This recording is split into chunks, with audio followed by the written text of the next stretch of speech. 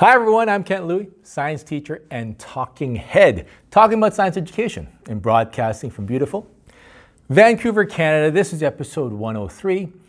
When we teach science, often we get into the habit of teaching all the terminology and structures about a topic before we have students actually explore that topic. However, if you think about how we develop our language, when we were little, we started by mimicking sounds and experimenting with the words, and then piecing them, piecing them together into simple sentences. Then, at school, we're taught grammar, punctuation, and all those rules in order to help us do language better. But when we first started, there were no rules. Now, I think the same can be done for science. Have students do it first, and then afterwards put structures and labels in place. And I did do this with my students when I introduced CER, that's claim evidence reasoning. And I think it went quite well, especially since students got to do science. You know, all I needed was some super basic lab equipment like this and a super simple exploratory question for them to answer. I'll get to all those details in a second, but before I continue, handouts for this episode are available at realsciencechallenge.com slash EP103. And please subscribe to our YouTube channel. Now, when teaching CER, Again, that's claim evidence reasoning. I used to go over what a claim is, what evidence is, and what reasoning is, and how reasoning differs from evidence.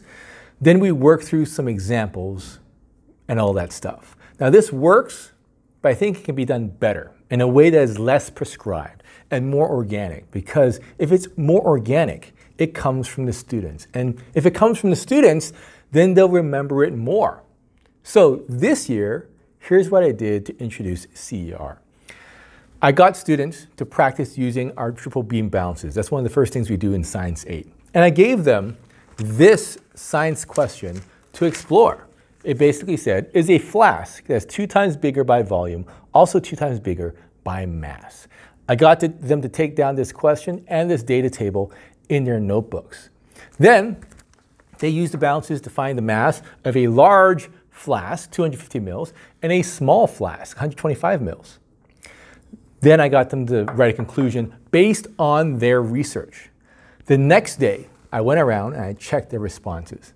Now, there was a wide variety of responses. Some parents, some, some parents, sorry, some students answered with these long, detailed paragraphs that answered the question directly and folded in some of their observations too. Those were really, really good. Most responses, however, were very, very short and didn't answer the question directly. Some said something like, you know, flask A is 38 grams heavier than flask B. That, that was all they said. Now, this is all good because after I check the responses, I go over what goes into a strong conclusion or claim, as I put it. So then I show them what would go into a strong conclusion using some sample data. I tell students that all strong conclusions have three things. Number one, they need to answer the question directly. So here, the answer is no. Next, they need to summarize the measurements and the data that support the answer. Now, students may think this is kind of a redundant thing because the data table is right here. But I tell students that in a real science paper, the data table may be on page 8, while the, while the conclusion is on page like 12 or 13. So we need to include the details of the data in our conclusion. Plus, it's our job to analyze and sift through the important information that supports our conclusion. So, I tell them to write. The second thing that's important in, a conclusion, according to my data, the 125 ml flask has a mass of 97 grams, while my 250 flask has a mass of 121. Finally, I ask students an explanation as to why a flask that is double the volume is not double the mass. Now, if you look at a flask, we notice that a lot of it is empty space.